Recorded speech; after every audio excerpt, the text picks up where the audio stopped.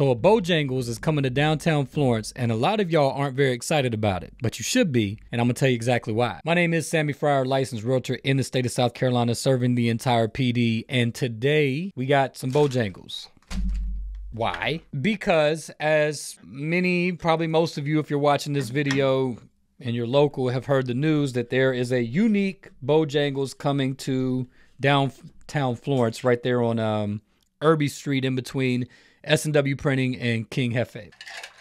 Now, this is a unique Bojangles, and I don't think the details have been specified. I've heard a couple different rumors about maybe they're not going to have fried chicken because of kitchen space.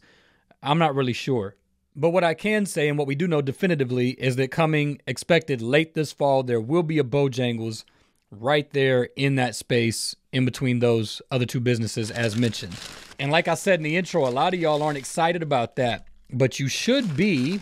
And I would say that the reason that many of you are not is because you're not seeing the big picture. Now, nobody, and I do mean nobody, is harder on franchises than this Florence Foodie. I promise you that. I'm very tough on franchises. I think that franchises often underperform. And so if I go out of town to eat somewhere, or even locally, if we go out to eat at a local restaurant, we almost never go to a franchise. We usually go to a locally owned business. And it's not just because we want to support locally owned businesses, which we do think is important, but they have a better product consistently across the country from what I have seen. But that does not mean that franchises do not have their place. In case you're wondering, this is a Cajun filet biscuit with egg and cheese added.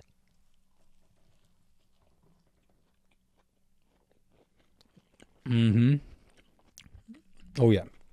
And I'll give you an example Five Guys, right? So we're ranking burgers, best burger in Florence. We actually haven't done one of those videos in a couple weeks. We need to get back to that here soon. And we are not looking at franchises, but if we were, Five Guys would be number one or two on my list easily because a lot of franchises will have an item or items that they do really well as long as they execute. But there's also a familiarity element and that's really what ties into what makes this such a home run for our community here in Florence. So I told y'all in a previous video that I talked to a well-renowned chef some months back about uh, investing in Florence, about setting up shop in Florence, and he told me people in Florence only want chain restaurants and fast food. To which I said, historically that's been true, but that is changing in this community. But therein lies the beauty of this, of why there's value in a franchise like Bojangles establishing a presence in downtown. There's a few reasons for it. Even though we're getting away from that and things are changing, that stigma still has a lot of truth for our area. So, what's going to happen is that a brand like Bojangles is going to draw a whole lot of extra foot traffic to downtown Florence that possibly was never going to be down there. And so there are a lot of people in our community, or maybe even that pass through, that wouldn't visit Victor's or Town Hall or El Agave, the different places, or Holy Smoking, the places that are downtown, but they'll go to Bojangles. And it gets them in the area. Foot traffic is the key word. And that's that's going to happen. This Bojangles is going to perform well. You can mark my words on it. It's going to do well. How can I be so confident? For one, you've got the Emerson right there. For two, you've got all the Francis Marion students. For three, you've got Hotel Florence, the Hyatt, uh, the hotels that are there, the city employees at the courthouse, the law firms, etc. And we haven't even mentioned the hospital. And there's two things to that. One, everyone in our community, they're not official certified Florence foodies like you and I. And they are still in that crowd that just prefer their mainstays, their brand names that they're familiar with, that they can go to. Not to mention the fact that even though fast food is getting outrageous, I paid almost $11 for this one combo. It's ridiculous. But by and large, a place like Bojangles is still going to be a cheaper option than the other options that are in the area for the most part.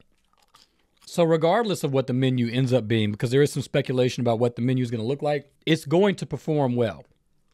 The other thing is that a lot of the larger cities in the United States, they have some of these brand name restaurants in their downtown. So, believe it or not, this actually adds an element of character. It really does, in a way, solidify some legitimacy to what has basically been a project downtown to just see what could happen. A brand establishing a presence down there really actually does legitimize our downtown in a real way. And for Florence, South Carolina, I said this before, I can't think of any brand more perfect than Bojangles. We're, we're the home of the Southern 500.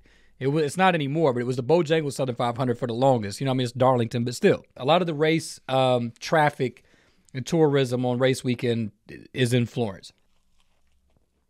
The other option I said would be Chick fil A, but Bojangles was perfect to me. Now, for me personally, as a lifelong South Carolina fan, and any of you out there, whether South Carolina, Clemson, or Georgia, however y'all made it here, or whatever, that are familiar with Columbia and Williams Brice, the Bojangles right down the road is like a staple. And so, even though the food's terrible on game day because it's cold and it's a nightmare, it's still a tradition. And so, the idea of going down to this Bojangles on a Saturday morning grabbing something like this to eat real quick, and then heading over to one of the other establishments to watch a football game at noon or whenever it may be is actually really enticing. I'm kind of excited about that. With all those things being said, the point I want to get across to you guys in our community that are not excited about this move is this. I'm challenging you to step outside of your personal preferences and look at the big picture. I know many of you saw the news that this was coming, and you're like, man, like there's so many different things I would like to eat that are unique that we don't have access to that I would like to see there. And I get it. I've been clamoring for the longest, banging this drum about we need a New York deli downtown. As soon as we can find the right operator, God willing, we're going to do whatever we can to see that happen. But none of that negates the value in Bojangles establishing presence in that location. And it's exactly what I said. The Bojangles itself is going to perform well. I will confidently say that. You can mark my words and see how this ages. Especially if they execute like this every time. Shout out to the Bojangles on Celebration. They executed extremely well today. But it's going to draw more traffic to a downtown scene that is developing. This only adds to what's going on in downtown Florence. It does not detract in any way because even those of you that aren't happy with the move, you're still going to go to Town Hall. You're still going to go to Victor's. You're still going to go to the Leaf Lounge. You're still going to go to Holy Smoking. You're still going to go to King F.A. right next door. You're still going to do what you do. You're just not happy with this move. This is nothing but positive, I'm telling you. And that's coming from an official Florence foodie. I'm not going to steer you guys in the wrong direction. Not intentionally, at least. So, look, with that being said, I hope that you guys can see the big picture in this, uh, the extra foot traffic and revenue being drawn to the area is a positive thing. I think it was the perfect franchise to go there for our community. Remember, that whole affinity towards fast food chains and chain restaurants, in this case, can be leveraged, and I would say is being leveraged for a greater purpose. Even if it's not intentional by the franchise owner that's establishing that Bojangles in that location, that is going to be some of the fallout, in my opinion. So, with that being said, I'm going to go enjoy the rest of this. I'm definitely interested to hear you guys' feedback and opinions and thoughts on this newest development. It's set to open late fall. I don't think we have an exact date or timeline, but that's right around the corner, right in the heart of football season. So I'm excited about it. It's just another development to our downtown that I really think adds a lot of character and, like I said, solidifies some legit- legitimacy to downtown Florence in a way that I don't think everybody's really seeing and grasping but I 100% think that that's an accurate assessment of the situation. And so, with that being said, I look forward to seeing some of y'all in downtown Florence in the days to come. And in the meantime, y'all take care and we'll see you in the next video.